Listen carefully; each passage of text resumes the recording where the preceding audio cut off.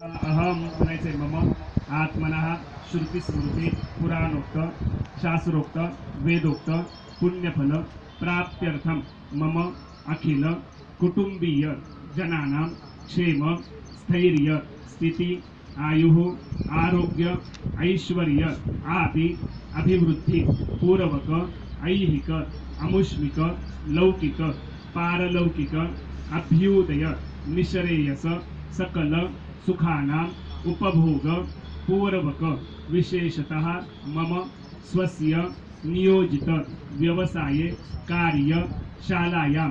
धर्म, नियोजित कार्ये, उत्तरोत्तर। यशकीर्ति, लाभ, भाग्योदय। सिद्ध्यर्थं, कार्यक्षेत्रे गजान्त, सुलक्ष्मी। प्राप्त्यर्थम अप्राप्त, लक्ष्मीः। प्राप्त्यर्थं प्राप्त लक्ष्म्याः चिरकाल। निवासार्थं मम स्वस्य जन्म कुण्डल्यां स्थित चतुर्थ अष्टम द्वादश स्थान स्थितवत। अशुभग्रह, अशुभफल, निरसन, पूर्वक, पंचम, सप्तम, नवम, एकादश स्थान स्थितवत।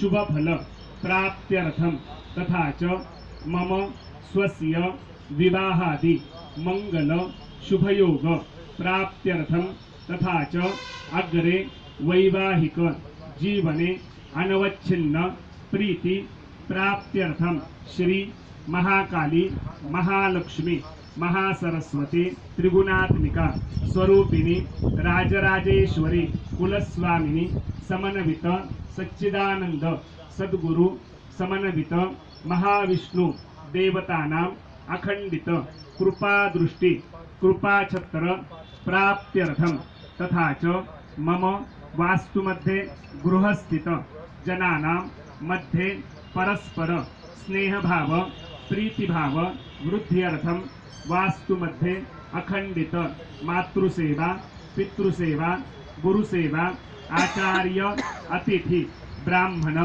सेवा, प्राप्त्यर्थं परिवार जनानां शरीरे उत्तम आयुः आरोग्य प्राप्त्यर्थं तथा च मम स्वस्य सकल चिंतित मनोरथ मनोकामना शीघ्र अति अतिशीघ्र परिपूर्णता सिद्ध्यर्थम् अस्मिन् पुरुषोत्तम मास पर्वकाल अंगभूत संपूर्ण अधिक मास यज्ञ महाविष्णु, याग, कर्मणि, अद्यैव, पञ्चदश, अहनि, स्थापित, देवतानां, प्रातः, पूजन, अभिषेक, अर्चन, हवनादि, सकलं कर्म, एकतन्त्रेण, अहं करिष्ये।